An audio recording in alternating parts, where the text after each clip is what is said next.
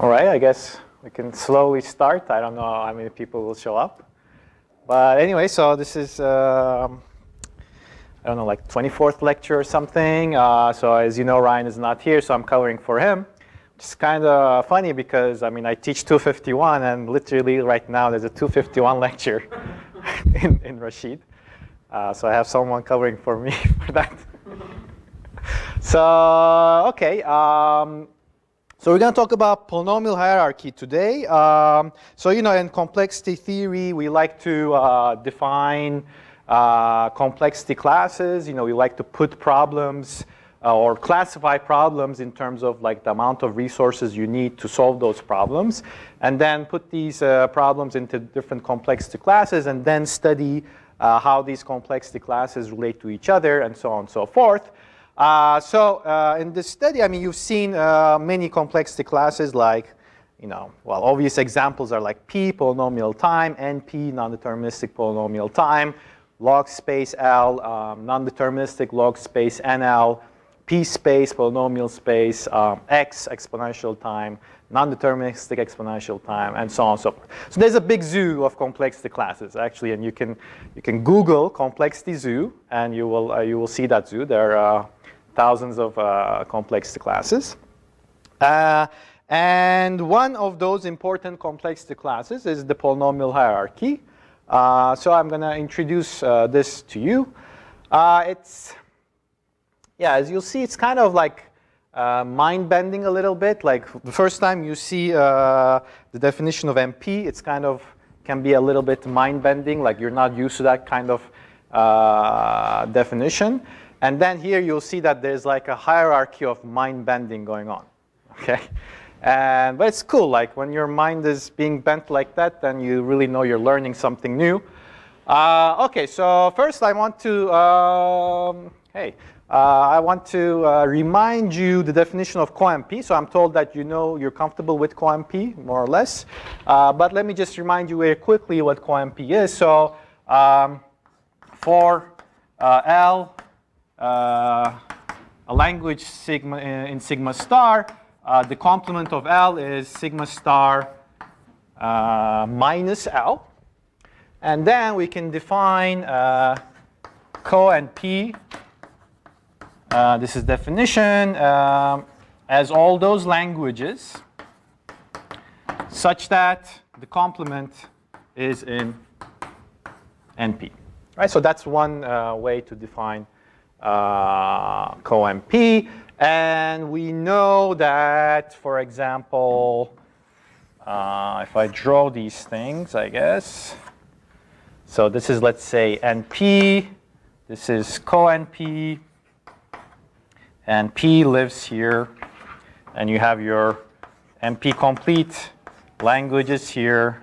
And you have your CoNP complete languages uh, living there. So we believe these uh, uh, uh, complexity classes are different. Um, so you might say, like, what's the motivation to define CoNP? Well, the motivation is, well, NP is a one-sided definition.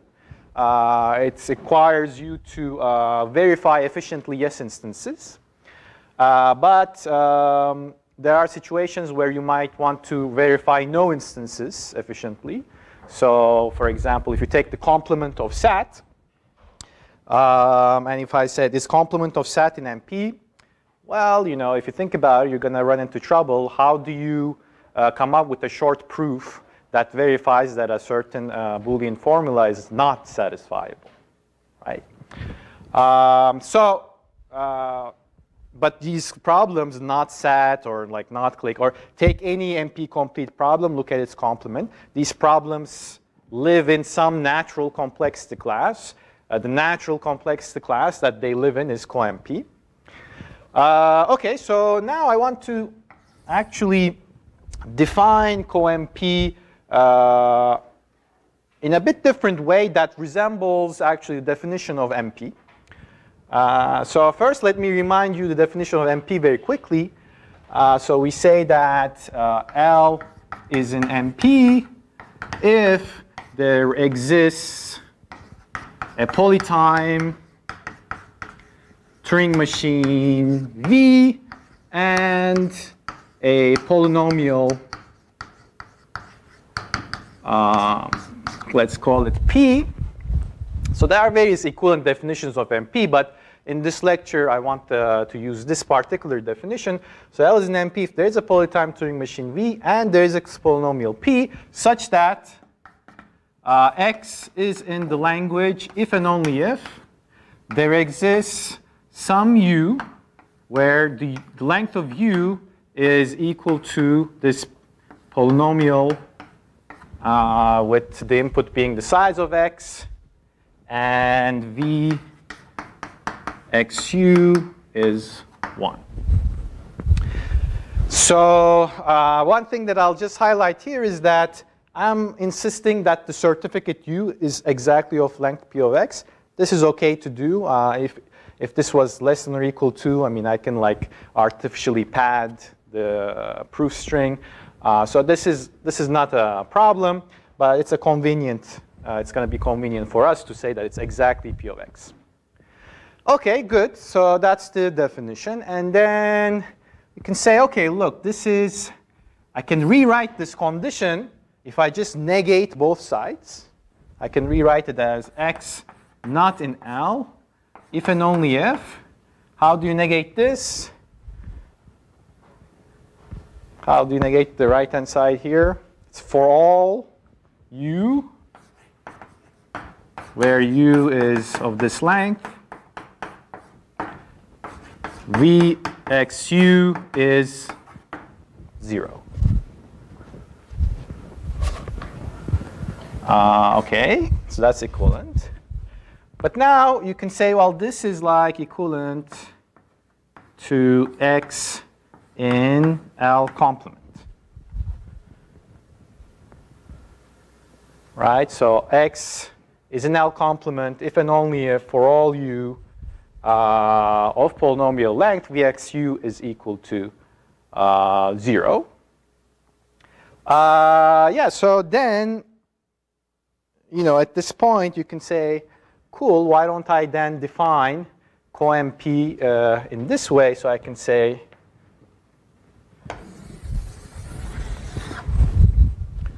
uh, we'll say that, so this is definition.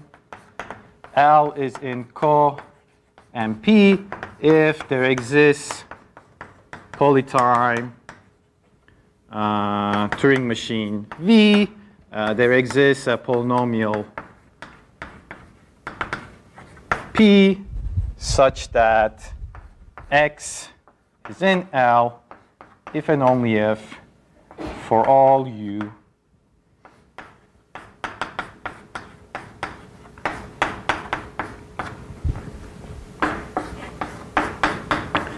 Now, okay, so here Vxu, I don't want to put it to be 0. I'm going to change here the meaning of 0 and 1 and put a 1 there. It doesn't matter. It doesn't make the definition uh, any different.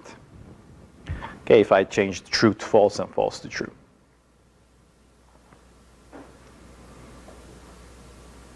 Okay, so um, so yeah, so there are various ways to think about CoNP, okay? So one way to just define it this way. Another way is like, okay, you know, um, CoNP is the class of languages where you can verify no instances efficiently. Uh, or you can say it in this way where you say, oh, you know, the yes instances, a yes instance is a yes instance if and only if for all u uh, where the u is polynomial length, vxu, there is this verifier where vxu outputs 1. Okay, so all right, and now let's put this up here. So one thing, I'll make a quick observation, very simple observation.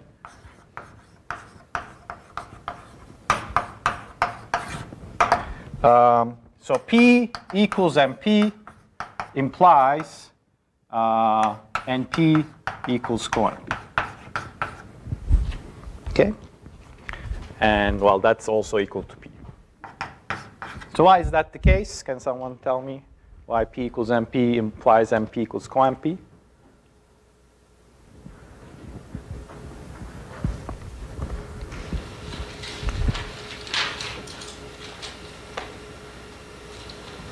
By the way, this is equivalent to saying that NP not equal to co-NP implies P not equal to NP. So in case you were working on separating NP from co-NP, you should know that that implies P is different from NP. So why is this the case? Well, P is equal to NP. Then co-NP is equal to co-P. But what is co-P? Co-P is P. Okay? Take the negation of a language in P, you get something in P.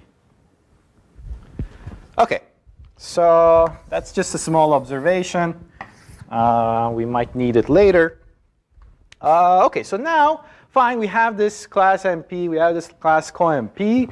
Uh, let me now define a language for you, and let's see if it falls in NP or co-NP.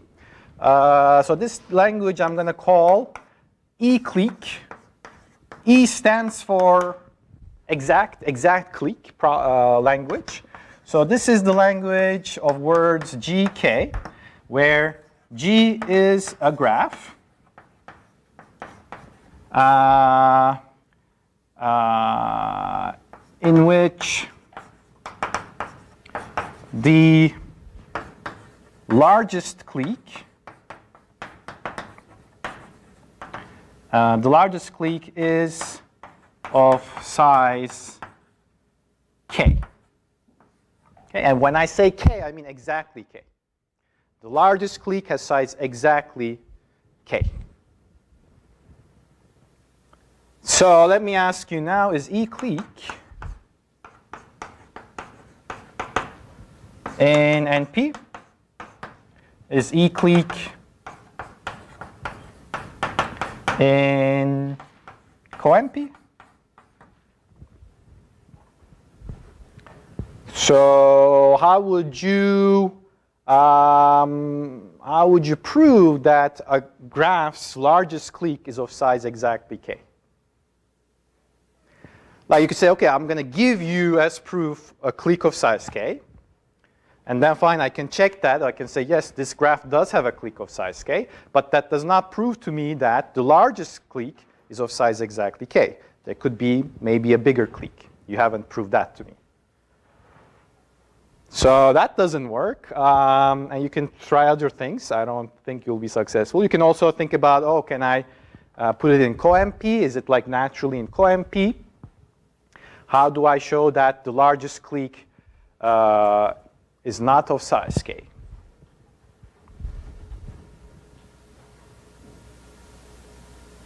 Right, so you're gonna you're gonna run into trouble. I mean, that's kind of the point uh, of this example anyway.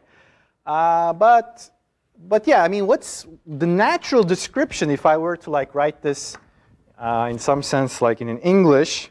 Uh, so I would say, well, a, uh, a tuple is going to be an e-clique if there exists some set, set of vertices uh, S and V, where the size of S is K, uh, such that S is a clique, it X forms a clique. And not only that, but and for, let me write it here, for all S prime, subset of the vertices, where S prime is of size k plus 1. Uh, S prime is not a clique. Right, so this kind of describes this problem well. You know, you want a clique of size k, but, at the same time, for all subset of vertices of size k plus 1, they should not form a clique. So then, in that case, you would know, great, then uh, my largest clique of size k. But what I like to emphasize here is the uh, number of quantifiers. There's a there exists, plus there's a for all. Okay? Now let me give you another example. Smallest uh, circuit.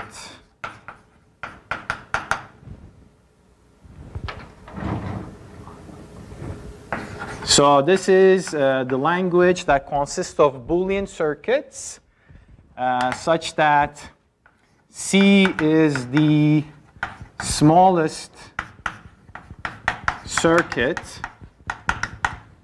uh, computing, um, let's call it the function that C computes. Okay, so by C sub f, I mean the function that C computes. Every Boolean circuit computes some function.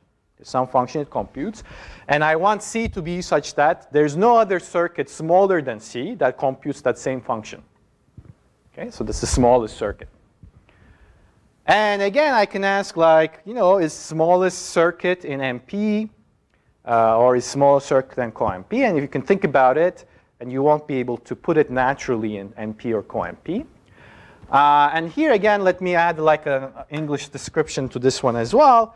Uh, so here it's more like for all um, C prime, circuit C prime, uh, with size of C prime is uh, less than size of C. What do I want? Maybe you can complete it. For all circuits smaller than C prime, I want it not to compute the same function as C does, so it should disagree with C in some place. So there exists some x such that C of x is different from C prime of x. Okay? Again, for all, there exists two quantifiers. Here we had there exists for all. This is for all, there exists. And now, okay, so as you can see, it's kind of suggesting like maybe we should uh, come up with a new complexity class to capture these problems. These are natural problems, right? These are not like uh, very funky problems. These are very natural problems. They don't naturally fall in NP or CoNP. What's a natural class that we can put these uh, class uh, languages in? Okay. So this is one uh, motivation for it. I mean, also like, you know, if you imagine like you're a researcher in the mid 20th century and you have like um, this definition of NP and this definition of CoNP, it's kind of natural to ask like, well, you know, these have one quantifiers. What if I add more quantifiers? It's a very natural thing to generalize in that way, right? And see what kind of thing you get. Okay, so let me do that now. So let me actually add a little notation here that I will use throughout. Notation Uh, so I will write there exists with like a superscript uh, and then some variable u. This is going to mean uh, there exists u where uh, u is in sigma star and uh, the size of u is exactly a. Okay, so when I use this notation, there exists a u, I mean there exists a u in sigma star whose length is exactly a. Similarly, for all a u, this means for all u in sigma star with u equals a. Okay, so now uh, let me define u. Uh, complex, this complexity class that captures uh, these problems. So we're going to say that L is in, so here's an unfortunate uh, clash in notation. So this is going to be called sigma 2. So this sigma is not the same as the alphabet sigma, okay? Uh, but it's the way it's used, so unfortunately I have to use sigma. So L is in sigma 2. Um, if uh, there exists a polytime Turing machine V, there exists a polynomial P such that X is in the language if and only if there exists uh, with a polynomial uh, length u, u1 actually, for all polynomial length u2, vx u1 u2 equals 1.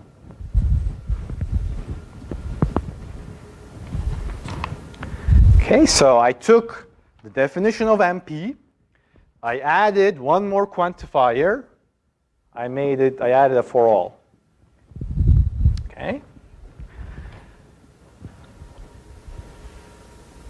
And actually, uh, I will, uh, like a colored chalk here somewhere?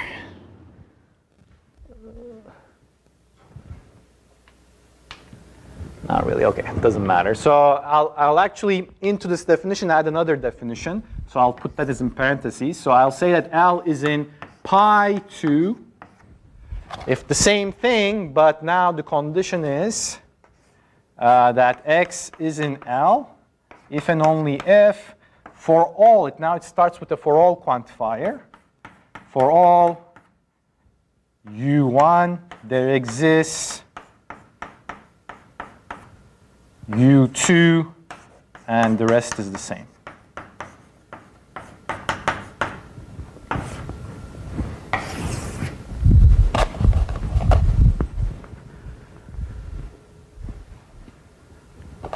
Okay.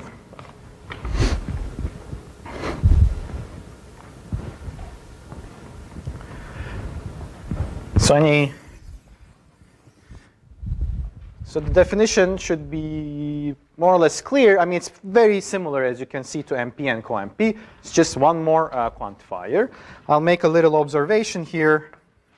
Uh, observation, pi 2 is actually co sigma 2, which we would define as all those languages such that the complement is in sigma 2. Again, I apologize for the notation. Like this sigma is not the same as this sigma. They're different. Um, you might ask, why do you think you know there's a sigma here? Like, why do we use this notation? So yeah, I mean, you think of this as like, okay, there, it starts with a there exists. There exists is usually, you know, associated with or, taking an or, and or is usually associated with a sum. Okay, and then the other one, pi, is like, well, this starts with for all. For all is associated with a, uh, a product uh, or ands, and this is a product, so that's the product there, product notation. So that's one way to remember which one is which. You look at which quantifier it starts with there exists for all. Uh, and yeah, this is like an observation. I mean, you can you, you should be able to uh, see that. I'm not gonna waste too much time on this. Uh, but yeah, so pi 2 is of uh, sigma 2. And now I claim um, yeah, so claim claim that this guy E clique, let's say, is in sigma 2.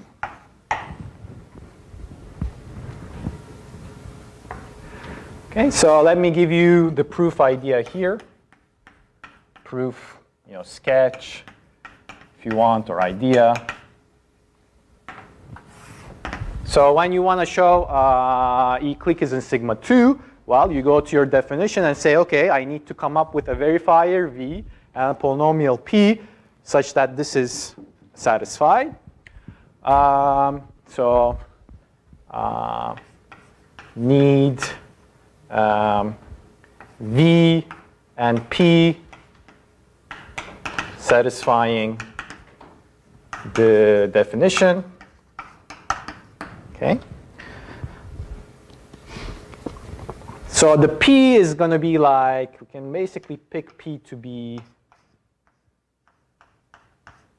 um, like linear.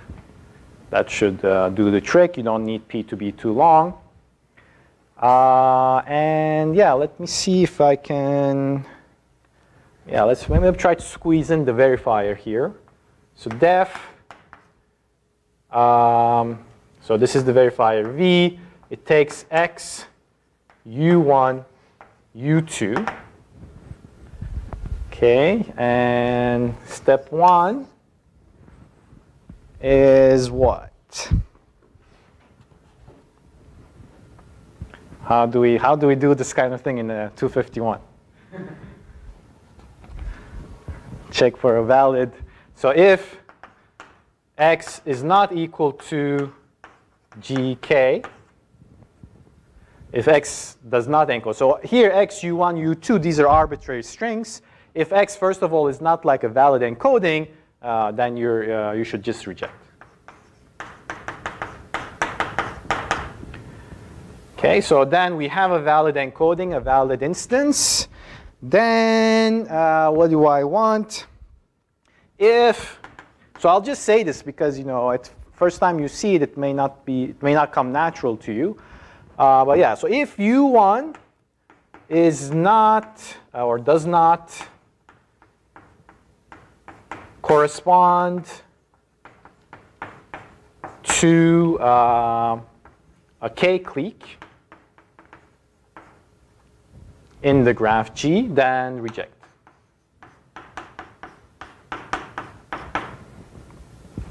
Okay, so first I want is that you want to correspond to an actual k-clique.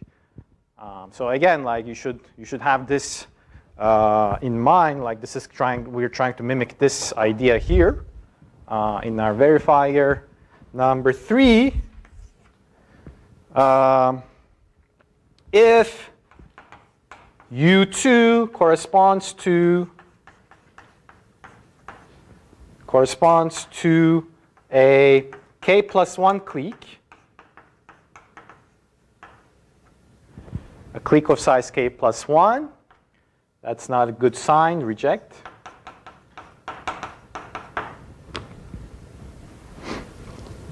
And otherwise, you can accept.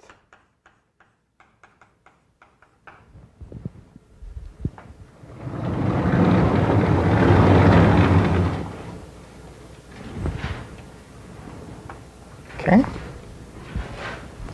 So now we can like check whether this V satisfies our definition. Um, so if X is in L, um, when X is in L, so do we have that there exists U1 such that for all U2 V X U1 U2 uh, accepts? Well, what's going to be the U1? If x is in L, first of all, there is a clique of size k. The largest clique of size, uh, largest clique in the graph is of size k. So I can, I'm going to expect this U1 to be that, correspond to that clique of size k, right? And so uh, for the first step is good, like I'm not going to reject there. Second step, U1, okay, so there will be a U1 where uh, I won't reject in second step. It will make me happy with if you give me the k clique.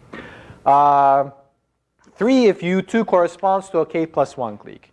No matter what U2 you give me, it cannot correspond to a k plus 1 clique in this graph. Right?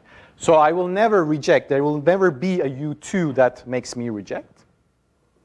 Okay, so that means that for all U2 now, given that U1, given that U1, for all U2, I will accept as, as, uh, as I should.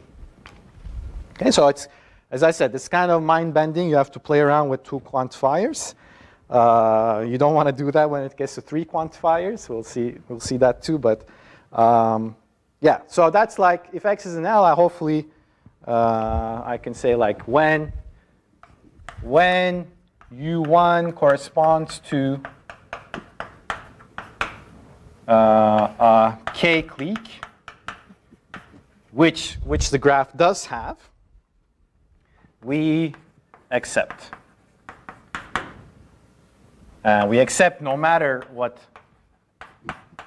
u2 is, for all u2. Now, what about if x is not in the language? Well, there are several ways that it cannot, it's not in the language. One is like the trivial case where like it doesn't even correspond to a valid encoding. Then we automatically reject. So let's say go case by one, case by case. One, um, if, uh, let's say x is not equal to gk, and in this case, uh, always reject. This is for all for all u1, u2.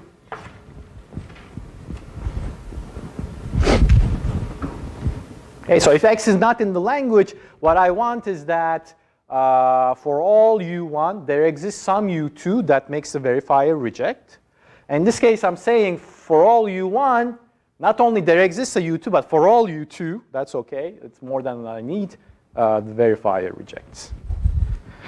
Uh, what about another case? So it could be the case that um, uh, largest clique is at least k, or more than k, I should say. Then what?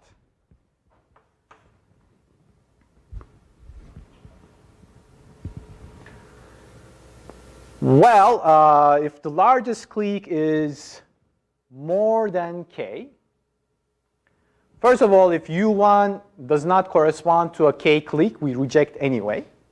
If u1 does correspond to a k clique, uh, then there exists some u2 that makes, there should exist some u2 that makes me reject. And that u2, of course, is going to be the string that corresponds to a k plus 1 clique that does exist by this assumption, right? So um, I'll say that for all u1, there exists u2. So this is a clique. This u2 is a clique. Um, let me say k, k plus 1 clique.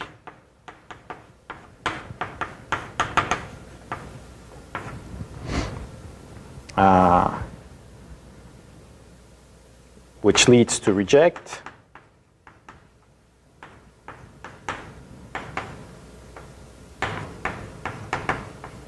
Okay, and then the third case is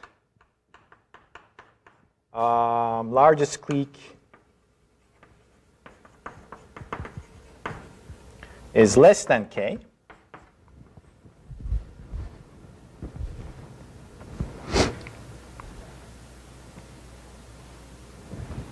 So then, then what's the situation?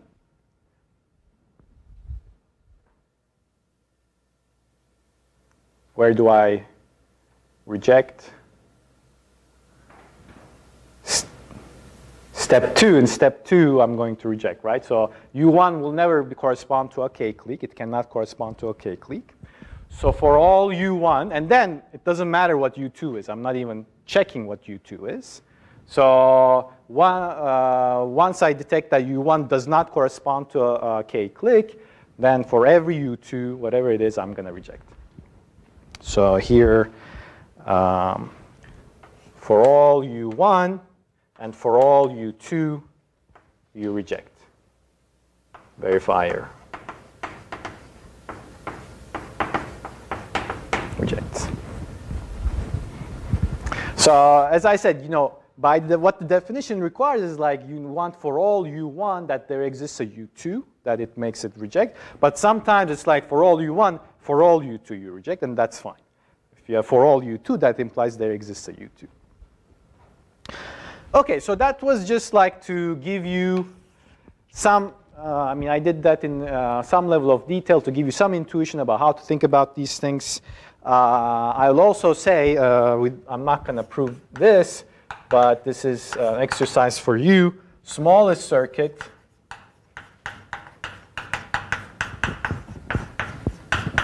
uh, is in pi 2. Okay, and the proof is exercise. Or maybe it's show up in the homework, I don't know.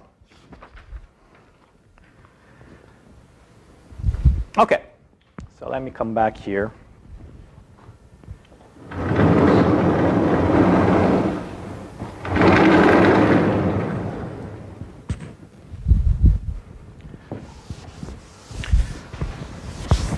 If you have any questions, let me know.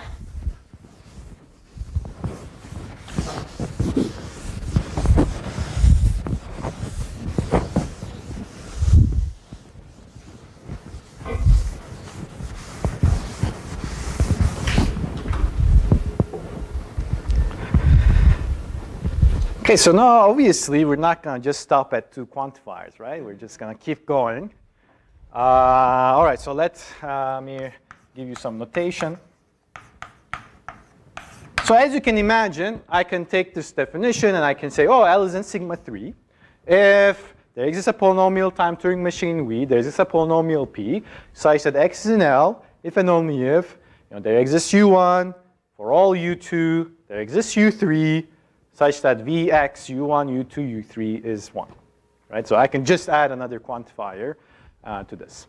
So I'm not going to like write that definition down, but instead let me just give you the notation here. Uh, so first of all, sigma 0, uh, pi 0. So this index i refers to uh, the number of quantifiers. Okay, So this is just going to be good old polynomial time p. Okay, no, if you don't have any quantifiers, it's polynomial, it's p. Um, now, sigma 1 actually corresponds to NP. Okay, one quantifier, there exists quantifier. This is NP. And pi 1 corresponds to co-NP. Okay, uh, one for all quantifier. And actually, I'm even going to write this uh, as so this is like a notation that I'm introducing now. I'm going to write this as there exists P.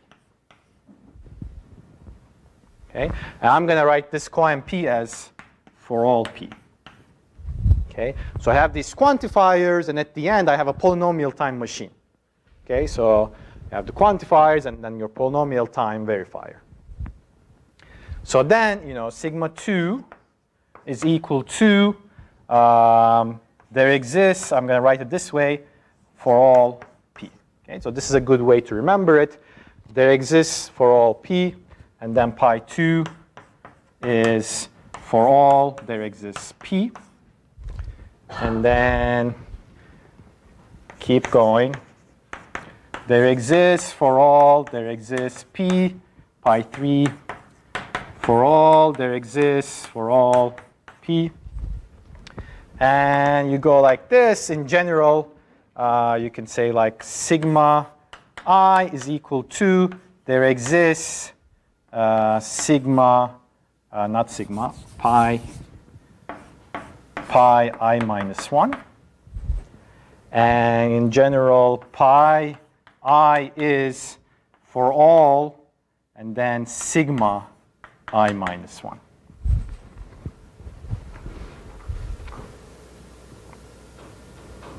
Okay, so for each fixed i, we can define these complexity classes. Um, just again, an observation.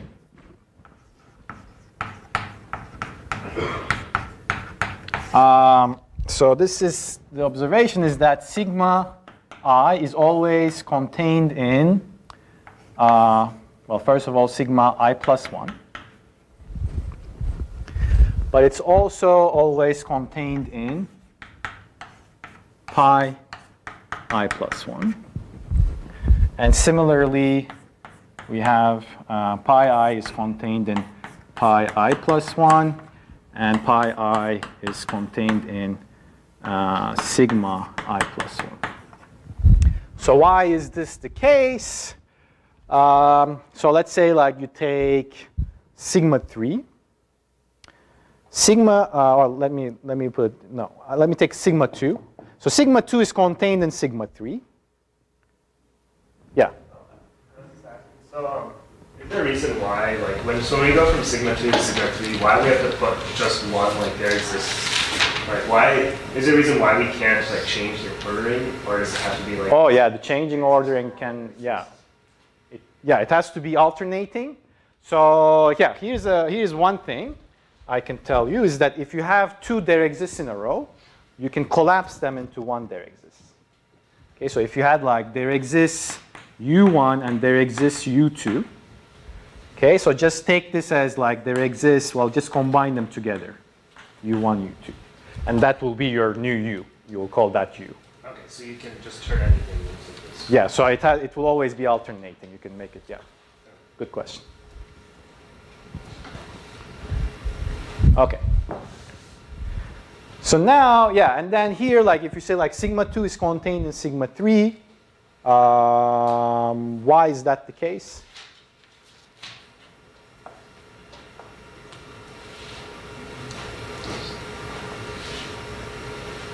Like adding more quantifiers gives you more power.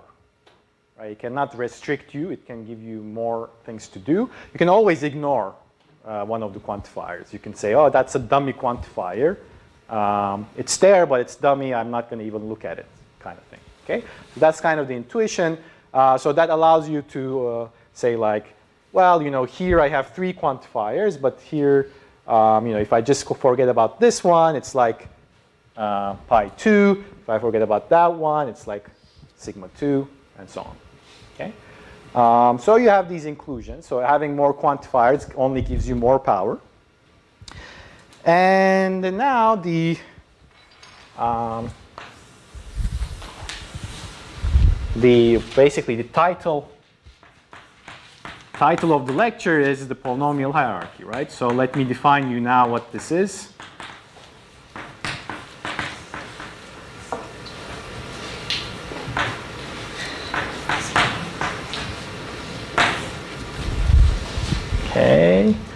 So this is going to be the complexity class that we call PH, polynomial hierarchy, which is the union over uh, all i of, you can take it as sigma i, but that's going to be equal to the union over all i pi i. Okay, and the reason for this equality is because of this observation. So uh, basically, intuitively, a language is in uh, pH. Okay, if you can describe it with some constant number of quantifiers. Okay, so let me write that down. So if L is in pH, then uh, then L is in let's say sigma i or uh, L is in pi i. Can also write this way for some for some constant i.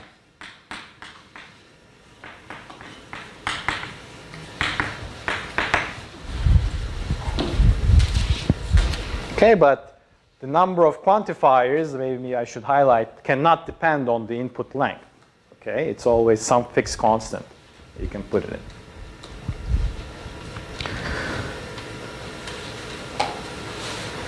Okay, and then now with this definition and this observation, we have a nice picture coming up.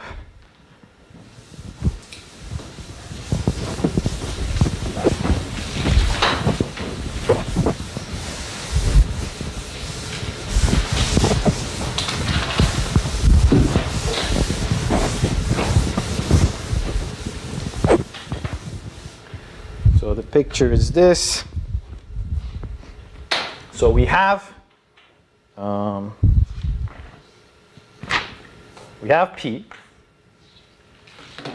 P is contained in NP, is contained in co-NP. And P is sigma 1. Co-NP is pi 1. Sigma 1 is contained in sigma 2, contained in sigma 3, and so on. Pi 1 is contained in pi 2, contained in pi 3, and so on. Furthermore, pi 1 is contained in sigma 2, and sigma 1 is contained in pi 2. And similarly here, and so on. And at the end, we have pH. Polynomial hierarchy, the union of all of these guys.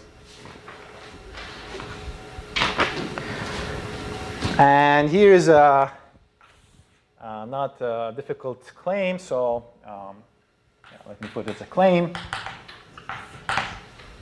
You might ask now, okay, what's an upper bound on pH? Is there an upper bound on pH? Or what's a natural upper bound on pH? Uh, what do you think it is? Anyone have a guess? P space. P space? Absolutely.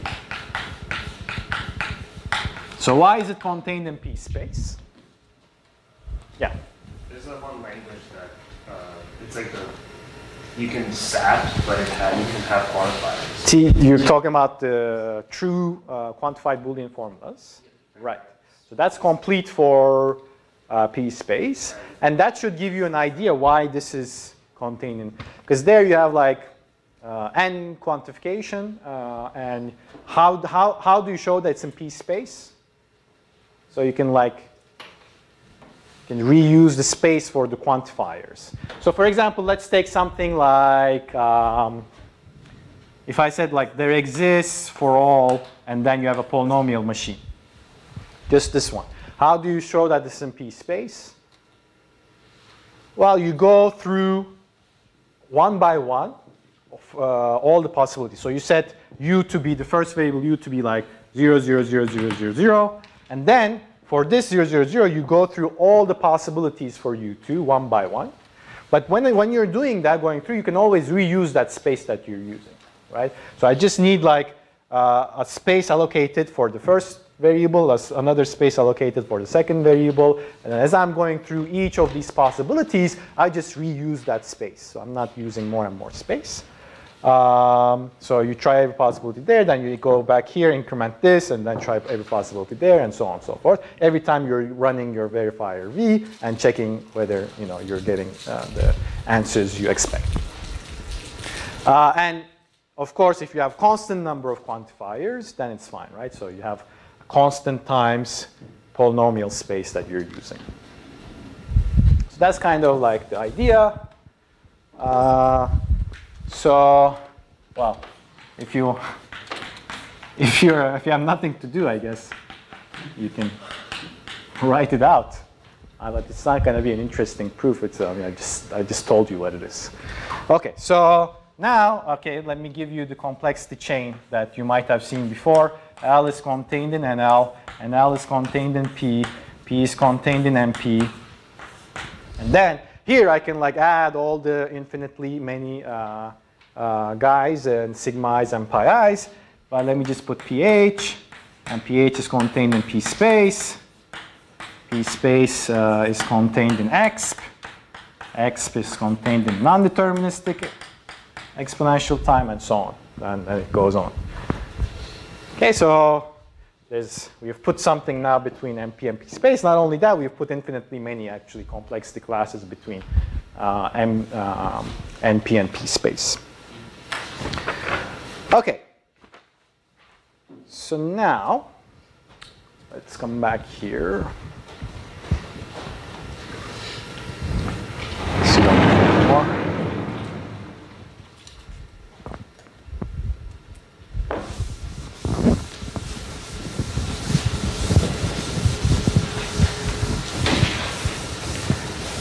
So how many people here believe P is different from NP? You, were, you weren't expecting this question. how many believe it's e they're equal? Anyone believe they're equal? No one?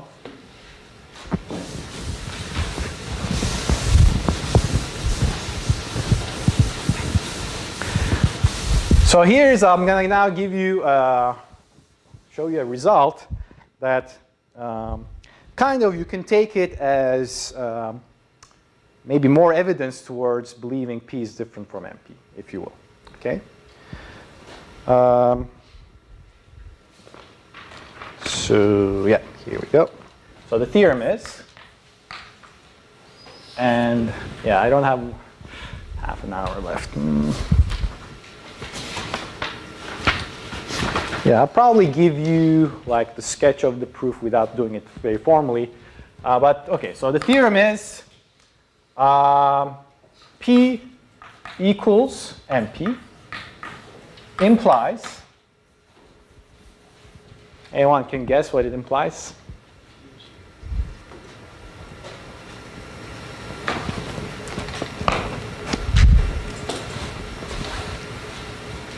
P equals NP. Some, it's something related to polynomial hierarchy, obviously. Yeah. Yes, exactly. P equals PH. If you can show P is equal to NP, the polynomial hierarchy, and I mean the, the, the, the way people like to phrase this is that the polynomial hierarchy collapses to P. Okay? People like to usually draw this picture, I'll draw it this way. People like to draw it like this way, where like the hierarchy goes up, and then you're saying, oh, everything crumbles down to P, if P equals NP. What was the intuition? Do you, well, why do you think this is true? I'm going to give you the intuition.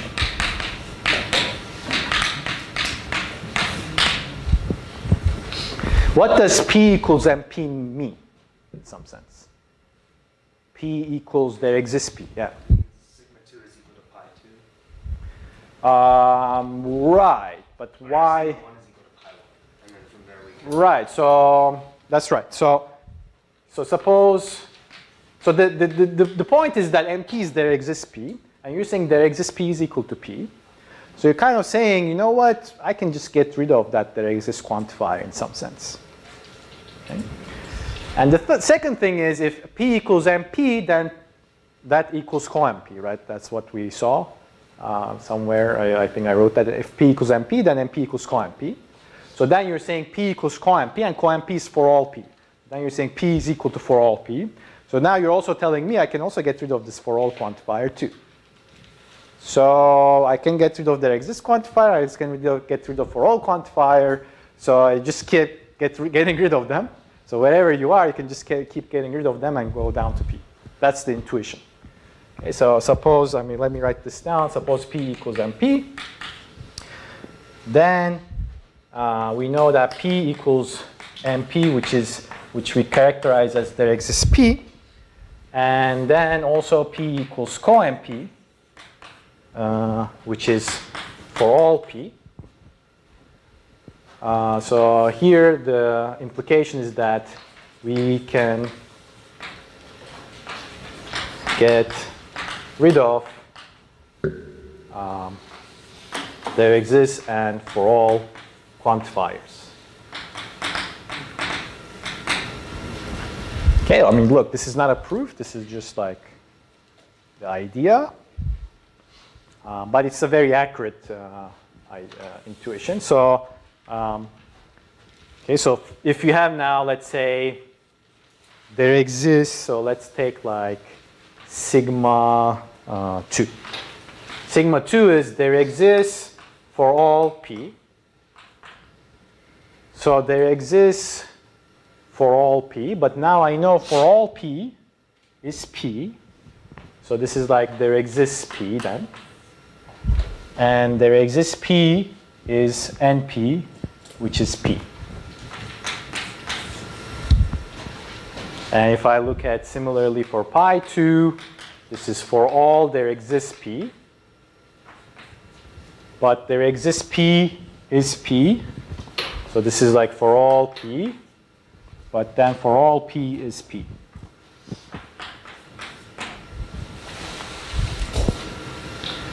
Uh, and yeah, I mean, let me do maybe one more. Sigma 3 is there exists for all there exists p. But now I've shown you that for all there exists p is p. So that makes this there exists p. There exists p is p. And so on.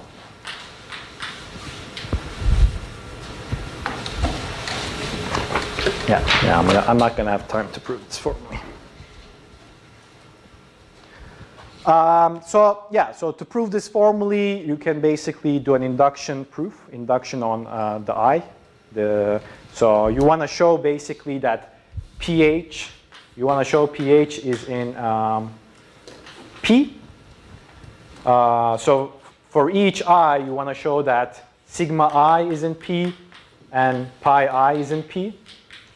And then you show it by induction on I. The base case corresponds to basically the assumption that P equals NP. Uh, that's, uh, yeah, pi, that's pi 1 and sigma 1. And then now, assuming that sigma i minus 1 is in P and pi i minus 1 is in P, you can show that sigma i is going to be in P and pi i is going to be in P. I think you can believe that. So, and you know, there's a way to formally do this. Good moving on. Here's another related uh, um, theorem. This is theorem, theorem 2 with a similar proof. So this is like um, if sigma i equals pi i for some i, then what do you think happens? So here we are like, okay, this is like sigma 0 equals sigma 1. This is now sigma i equals pi i.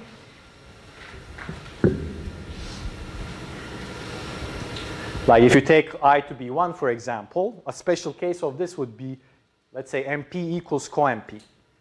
What do you think would happen in that case if NP equals co-NP?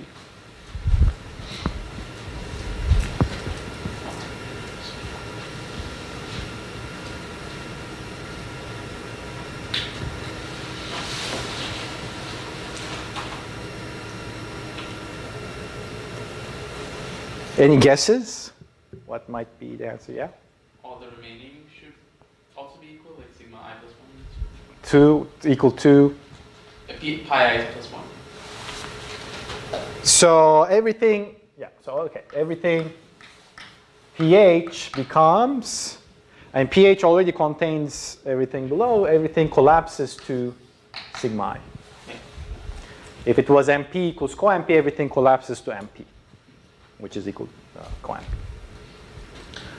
Um, yeah, so again, this is like saying people like to say the hierarchy collapses to the ith level. Okay, so again, I can give you the intuition, which is going to be similar.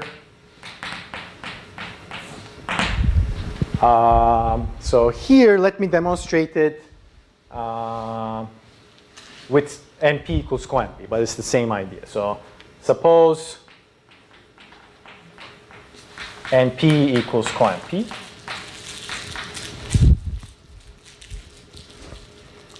Um, then I want to show that pH equals NP.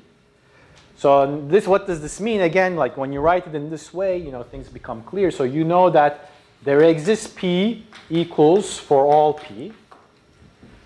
So if there exists P is for all P, then if I now look at there exists for all P, then what can I say? Well, this for all P is there exists P. So now I have there exists, there exists P. Okay, so I was able to switch. So this allows me basically, as you can see, switch a there exists quantifier to a for all quantifier in some sense. So when I have there exists for all p, now I have there exists, there exists p, and now this is equal to there exists p. Because as I mentioned uh, based on your question, right, if you have two there exists in a row, you there exists u1, there exists u2, you can combine them into one there exists uh, quantification for one variable. And similarly, for all there exists p, if I look at this, well, there exists P is for all P. So this allows me to say this is for all for all p, which is for all p. Okay, which actually is there exists p. And you know, let me do one more. There exists for all, there exists p. Well, now I know from the previous part that for all there exists p is equal to there exists p. So this is there exists, there exists p, which is there exists p, and so on. Okay? So no matter what level I go in, I can collapse it to uh, there exists p, which is np. This is because I started from np equals co-np. If I start at a deeper level, we can do the same thing and collapse it to that level. Okay.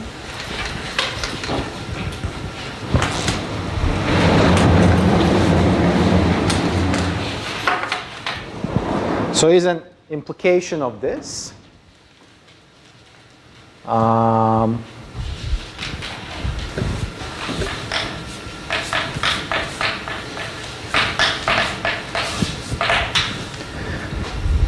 uh, if L uh, is in if L is in uh, NP intersection coin P is NP complete.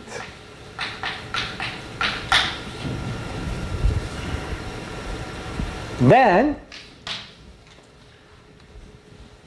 so if you have a language in NP intersection co-NP, that's NP complete, then you can actually show that NP has to be equal to co-NP, which then implies um, as we just saw, uh, pH equals M.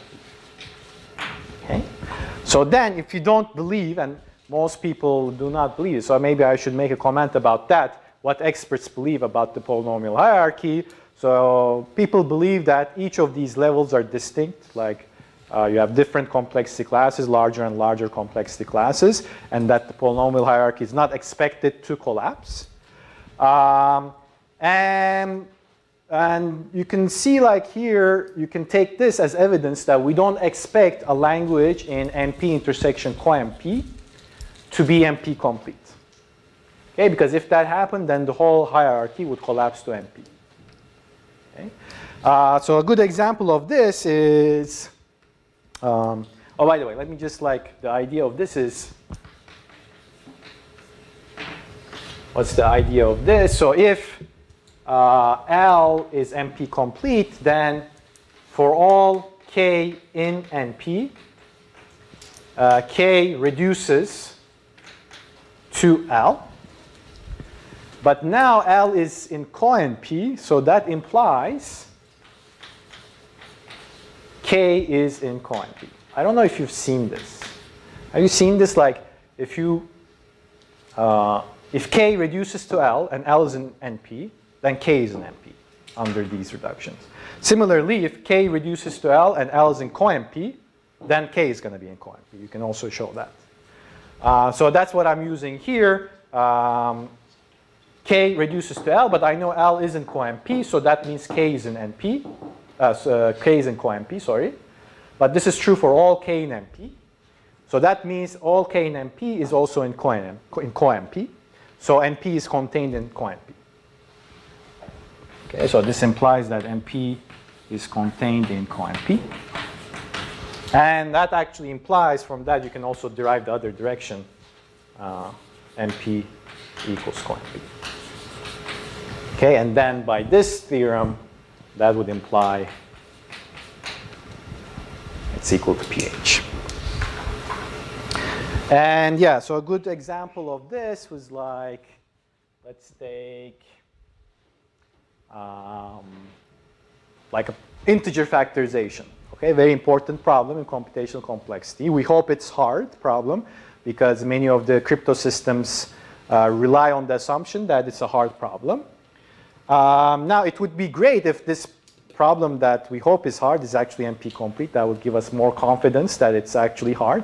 So then you could say if P is different from NP, then we know factoring is hard. But uh, unfortunately, uh, factoring problem, well, factoring problem is not a language, but the language version of the factoring problem um, is an NP intersection coNP. So we don't expect it to be NP complete. In fact, we don't expect to be able to base any of crypto systems on, NP, on the hardness of an NP complete language. Um, so that's kind of uh, sad, but yeah, so let me just give you this example very quickly. So if we look at like a decision version of a um, factoring problem, let's call it smallest factor. Um, so this one, let's say it's pair of numbers and t such that uh, n has a non-trivial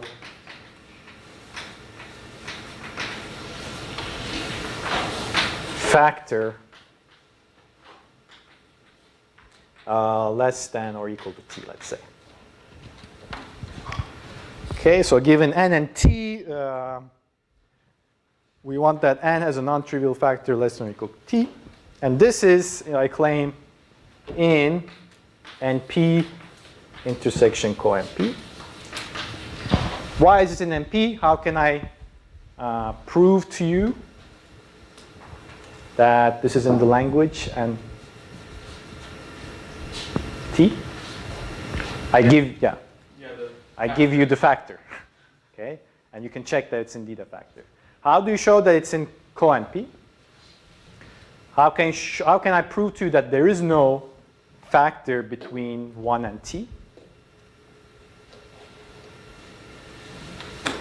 The prime factorization. Yeah. Give me the prime factorization. And then first I'll multiply things out and see that it's a prime factorization. And then uh, I can check that you know you don't have a factor less than t. Good. So yeah, that's kind of a negative uh, result, I guess. You know, it's that this is not NP complete. All right. So now quickly, uh, let me say a few things about. Like you might wonder now, like, does this class have, or these sigmas and pi i's have na- um, complete problems? Okay. You know, Ryan might have told you like a language or a complexity class is worth studying if they're like natural complete problems for that class. Has he said that? Okay. So when we certify that it doesn't have a s- factor smaller than t, we also have to certify that the factors are prime, right? Uh, yeah, So just do that with like prime certificate. you have to use primality probably, right?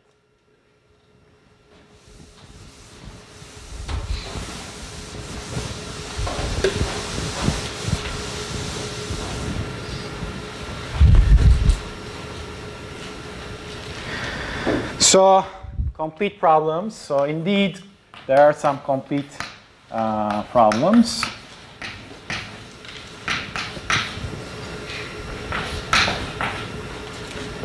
But unfortunately, I'm also going to uh, negate what Ryan said, as you'll see.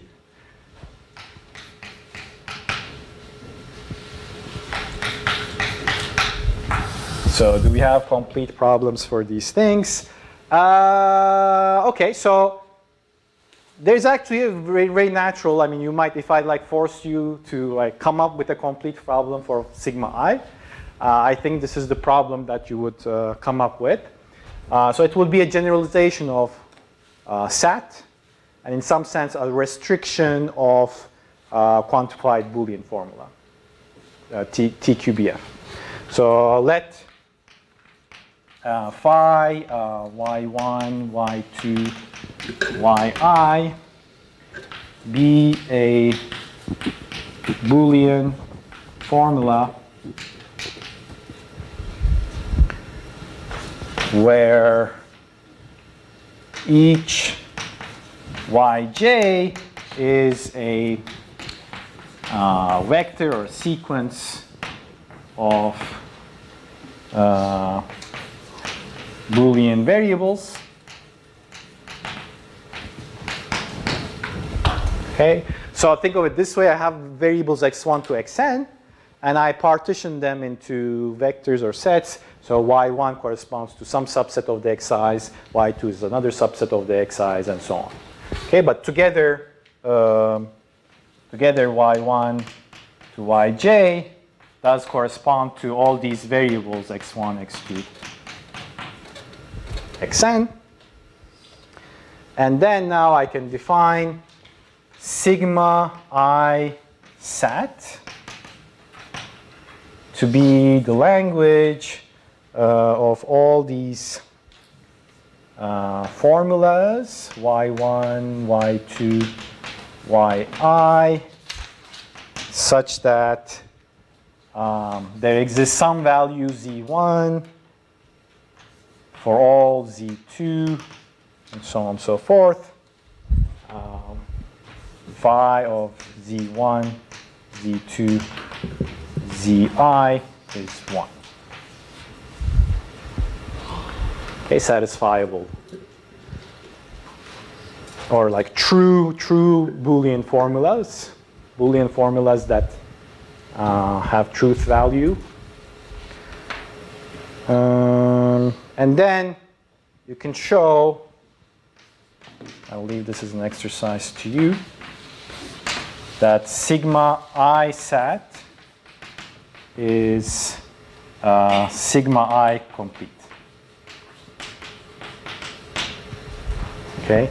Similarly, you can define, although I'm not define, I haven't defined, but similarly, you can define pi i sat, obviously, and that's going to be pi i complete.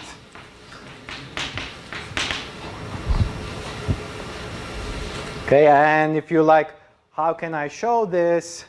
Well, I mean, one way is like just to think about, you know, Cook-Levin theorem. Just close your eyes, imagine the reduction, and then you will see like you can basically do exactly the same thing. Okay, it's like just copy the proof and you'll get the same thing.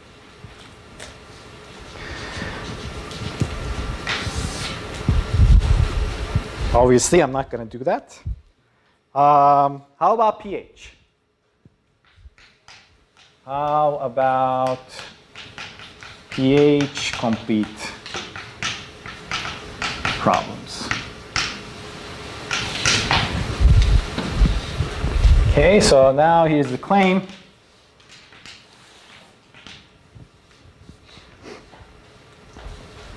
If there exists an L such that L is pH complete, then what do you think will happen? Then there exists I such that pH equals sigma i. The polynomial hierarchy collapses to the ith level. And this is, uh, this is why I'm negating what Ryan said, because here's a complexity class, very natural one. Uh, and if you believe that the hierarchy does not collapse, then it does not have a complete problem. And the proof is actually pretty simple. So how can we prove this? If L is uh, pH complete, then if, first of all, it's in pH by definition. So L is in pH, which means there exists some I such that L is in sigma i. And we know that for all k in pH, k reduces to L. And then what does that mean? Again, by like the similar kind of thing that I discussed before. So if k reduces to L, and you know that L is in sigma i, then k is also going to be in sigma i. Okay, so this implies that pH is contained in sigma i. Everything in pH can be put into sigma i.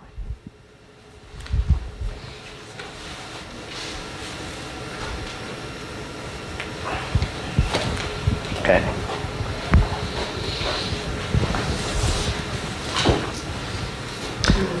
So now we can, last thing I want to explore is, okay, so what about the relationship between pH and p space? So we saw that pH is contained in p space. Would you expect them to be equal, let's say? Okay, so you know pH um, is contained in p space. But now, like, I mean, I guess you can guess, but you also know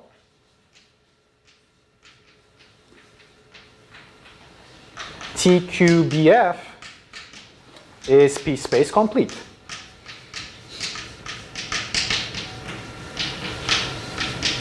And you also know that if pH was equal to p space, then pH would have a complete problem. TQBF would be a complete problem for it. So corollary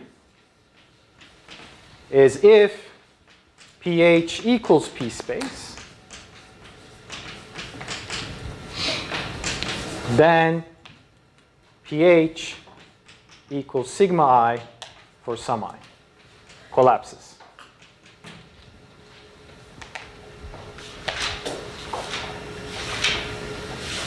And so and then we don't, you know, we don't expect uh, pH uh, to be equal to p space. And in some sense, intuitively, right, pH corresponds to all those languages that have a constant number of quantifiers. And p space actually corresponds to all those languages where the number of quantifiers is allowed to depend on uh, the input. So there, like, you're basically quantifying everything, uh, or allowed to quantify, let me say, everything. Okay, and then we believe that that actually gives you much larger gives you much more power and much larger class. All right, so that's basically all I wanted to say uh, today. And I think Ryan will continue this discussion next time on Tuesday and give you um, another equivalent definition of uh, polynomial hierarchy uh, using uh, Oracle, Oracles and Oracle Turing machines. Uh, and uh, that's also a very interesting and important uh, area in complexity theory, the discussion of oracles, oracle worlds, like uh, what if I said like, what if we, I said I, we live in a world where there's a magic box that is solves SAT for us for free. Okay, there's this black box, and whenever you give a SAT instance, it gives you the correct answer. What happens in this world? What what kind of complex like in this world? What are the relationship between complexity classes? Uh, and you, of course, you can you can take that uh, thought and run with it, and you know think about other things as well. What if you had uh, other kinds of black boxes and so on? Okay, so yeah, that's also interesting stuff. So you probably see that next time. All right, thank you.